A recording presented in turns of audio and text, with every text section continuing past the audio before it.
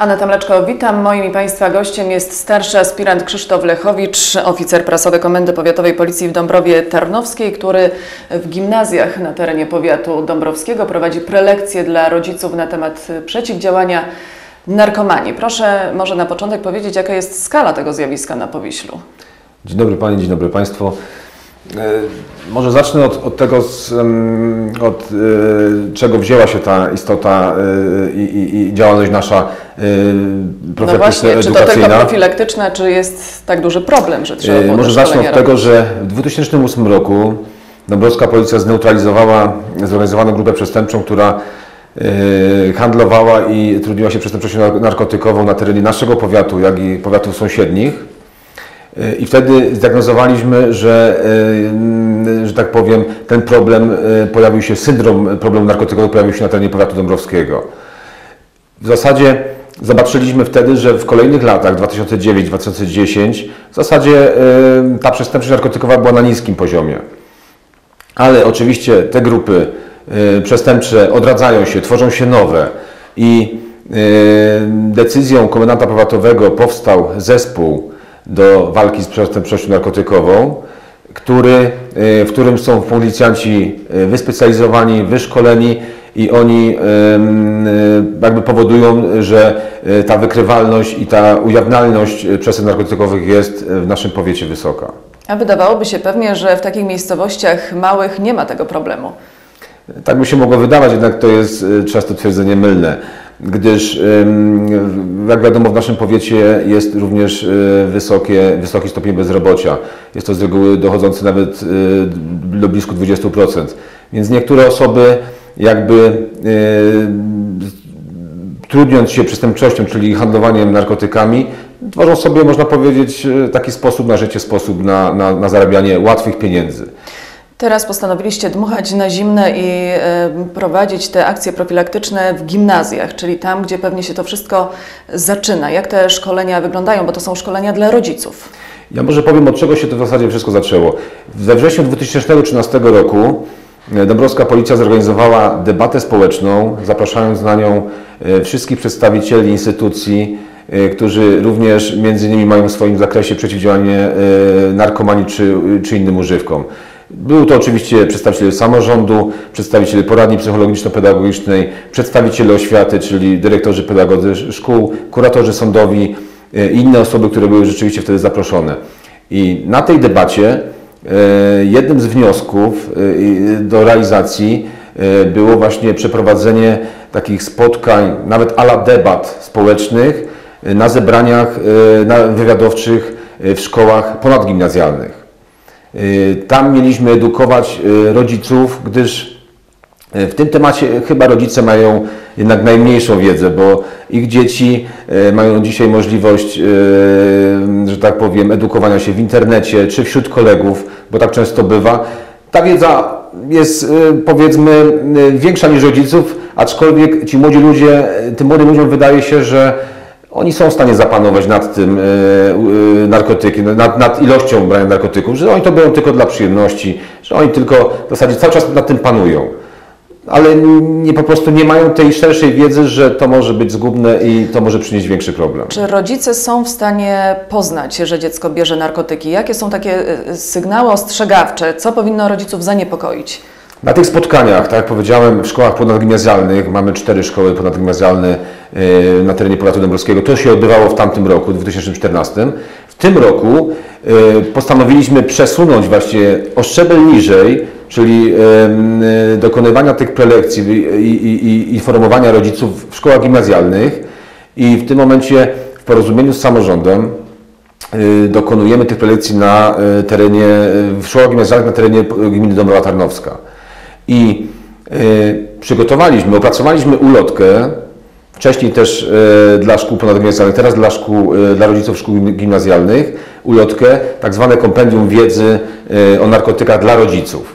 Ja mogę właśnie. zaprezentować taką ulotkę tutaj, którą, y, którą ostatnio y, opracowaliśmy i została sfinansowana przez Urząd Miejski w Dąbrowie Tarnowskiej pod tytułem Dowiedz się więcej o narkotykach, aby uchronić swoje dziecko. No właśnie, co rodzice powinni wiedzieć? Co jest w tych ulotkach? Co rodzice powinni wiedzieć, jeżeli chodzi o takie symptomy, że dziecko może być pewne narkotyków, to e, wiadomo, że w zależności od rodzaju narkotyku, czy to jest e, psychostymulant, czy, czy jakiś inny rodzaj, to ogólnie możemy powiedzieć, że pojawiają się u dziecka, e, ma dziecko, które bierze narkotyk, rozszerzone źrenice, jest, oso- jest osobą pobudzoną, zachowuje się nieracjonalnie, czasem w sposób taki nieracjonalny okazuje, em, okazuje sympatię w stosunku do, do innych osób. Często, e, jeśli chodzi o na przykład pa- marihuanę, to jest e, słodki oddech, słodka woń ubrań. I I są to dość charakterystyczne sygnały, które każdy rodzic, jeżeli chce, jeżeli ma tę wiedzę podstawową, potrafi rozpoznać. jeżeli tylko rodzice będą chcieli i będą, że tak powiem, bacznie obserwować własne dzieci, to na pewno tak. No właśnie pytanie, czy rodzice chcą, bo rozumiem, że przychodzą na te szkolenia, ale pewnie z takim niedowierzaniem, że no, moje dziecko to niemożliwe. Tak, często się tak mówi wśród, wśród i to słyszymy, że, że to jest problem gdzieś tam daleko od nas, że to jest problem wielkich miast, że w, w mniejszych miejscowościach ten problem jednak nie istnieje.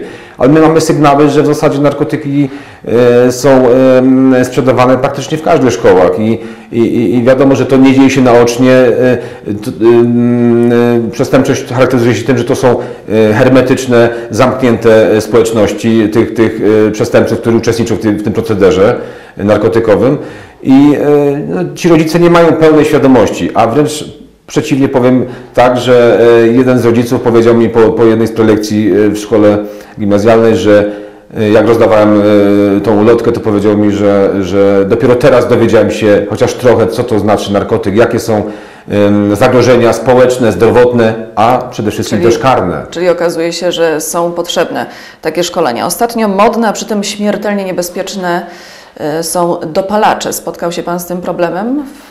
Powiem powiecie tak, e, w powiecie dąbrowskim e, są tu sporadyczne problemy, gdyż e, nie zanotowano sklepu, który by oferował e, w sprzedaży swojej tak zwane dopalacze, bo to są, bo to są e, substancje, które posiadają, które składają się czasami z kilku bądź kilkunastu substancji e, chemicznych o działaniu takim zbliżonym do psychoaktywnych, czyli jakby takie pochodne substancji psychoaktywnych.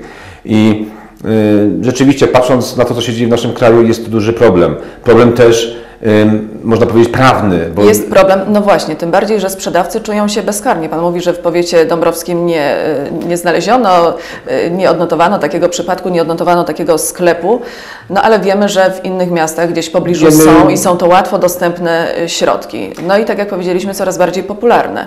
Niestety dopalacze y, są sprzedawane, czyli te środki jakby pochodne substancji psychoaktywnych są sprzedawane jako generalnie wyroby kolekcjonerskie, środki czyszczące, jako talizmany, więc w zasadzie jest tutaj pewien problem, żeby, żeby można było y, jakby to kontrolować i od strony prawnej y, jakby można No powiedzieć... właśnie, co by y, trzeba było zrobić, żeby to jednak było kontrolowane, żeby była nad tym kontrola? To znaczy, z tego co, co, co się orientowałem, są planowane przez zmiany prawne, nowelizacja ustawy o przeciwdziałaniu narkomanii. Co przede wszystkim myślę, że trzeba zrobić? No, na dzień dzisiejszy jest tych substancji psychoaktywnych, o działaniu psychoaktywnym, które zawierają dopalacze, które nie są ujęte w załączniku ustawy o przeciwdziałaniu narkomanii.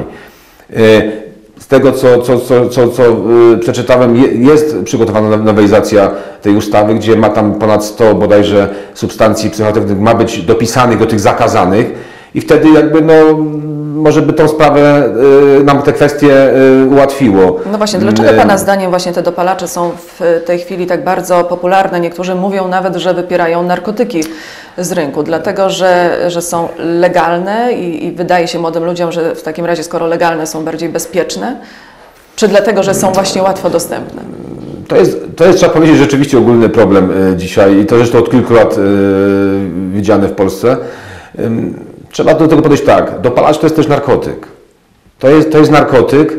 E, Owszem, y, grupy przestępcze mają y, powiedzmy tam swoich laborant, laborantów i oni tworzą coraz, coraz nowsze substancje chemiczne o działaniu psychoaktywnym. Więc wiadomo, trudno jest jakby na tym, na tym nadążyć i dlatego można powiedzieć, może inaczej, że, że to prawo jakby w tym momencie no, musi być jakby notorycznie nowelizowane, Ale- żeby zawierało wszystkie te substancje, które są tworzone, ale to nie jest sposób na, nadążyć nad tym A podejrzewam. wiemy, że są to środki rzeczywiście bardzo groźne, bo wiemy o wielu przypadkach no, mocnych zatruć, wręcz śmiertelnych e, przypadków. Ja powiem tak, do, przez trzy kwartały y, poprzedniego roku małopolski sanepid y, zarekwirował y, blisko 4000 takich substancji i nałożył kary, no bo to tylko sanepid w tym momencie może nałożyć kary finansowe na, na sprzedawców i to była łączna kwota około 90 tysięcy. W sąsiednich województwach, jak się orientowałem, y, trochę te dane są wyższe, czyli trochę więcej tych substancji zostało zarekwirowanych i chyba też na kwotę blisko 200 tysięcy y, były kary.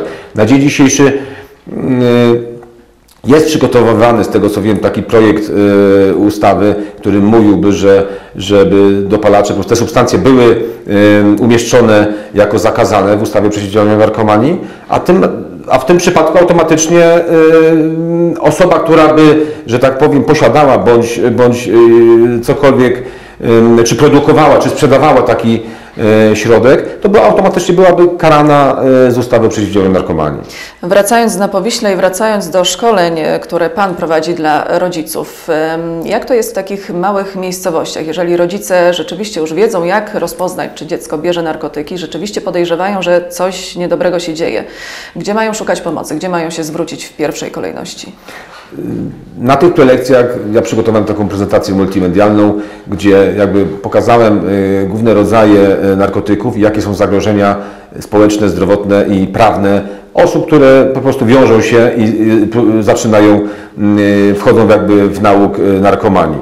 Tam też właśnie są podane mm, też w tych ulotkach, żeby ci rodzice mieli dostępne na co dzień infolinie, między innymi infolinia Komendy Stołecznej Policji, między innymi pogotowie makowe, y, gdzie są tu bezpłatne infolinie, gdzie osoba anonimowo, jeżeli krępuje się, po prostu poprosić o pomoc osobę, czy z Powiatowego Centrum Pomocy Rodzinie, czy pracownika socjalnego, czy policjanta, czy jakąś inną instytucję, która się też tym zajmuje, czy lekarza, po prostu krępuje się z uwagi na to, że to jest małe środowisko i taka osoba pewnie też nie chce jakby odkryć tego, że jej czy jego dziecko może mieć problem No tak, z to narkotykiem. wstydliwy problem. Tak, i tam może y, w sposób anonimowy, przynajmniej na początku, y, być może jakieś objawy się pojawiają u dziecka, być może y, pojawia się jakiś problem, jakieś relacje się, że tak powiem, Psują. psują pomiędzy dzieckiem i rodzicem. Tam może w sposób anonimowy i bezpłatny na, przez telefonicznie na tych infoliniach dowiedzieć się przynajmniej co na, początek, co na początku trzeba zastosować i, i, i, i co zrobić, żeby, żeby ujawnić problem i ewentualnie go rozwiązać. Więcej e, Państwo dowiecie się z ulotek, o których wspominał Pan e, Krzysztof Lechowicz, albo na prelekcjach, które ciągle trwają. ciągle trwają. Zakończyliśmy w tym momencie cykl prelekcji w szkołach gimnazjalnych na terenie gminy Dąbrowa Tarnowska. Dalej planujemy e, robić prelekcje w gimnazjach na terenie gminy Szczucin i prawdopodobnie e, na terenie powiatu dąbrowskiego, żebyśmy mogli we wszystkich szkołach gimnazjalnych e, wyedukować tych rodziców, przekazać informacje łącznie z informacjami na ulotkach, bo często takie spotkania, też wiedza jest taka, że, że, że jest w jakimś tam sensie ulotna, ale w takiej ulotce w zasadzie zawarte jest to wszystko, co na początek przynajmniej rodzic powinien wiedzieć, ażeby ustrzec własne dziecko przed naprawdę dużym problemem, jakim może być nauk narkomanii. Bardzo dziękuję. Starszy aspirant Krzysztof Lechowicz, oficer prasowy Komendy Powiatowej Policji w Dąbrowie Tarnowskiej, był gościem Tarnowskiej TV. Dziękuję bardzo.